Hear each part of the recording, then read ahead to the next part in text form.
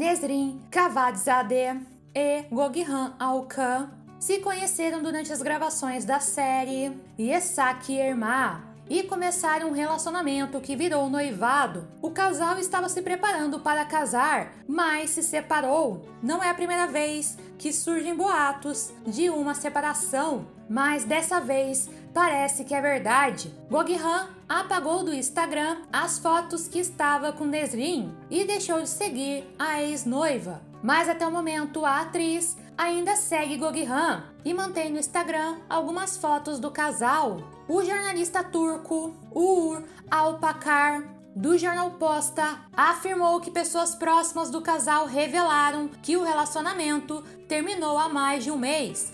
Goghan saiu da casa onde o casal morava, mas Nesrin afirmou para seus amigos que queria terminar em silêncio.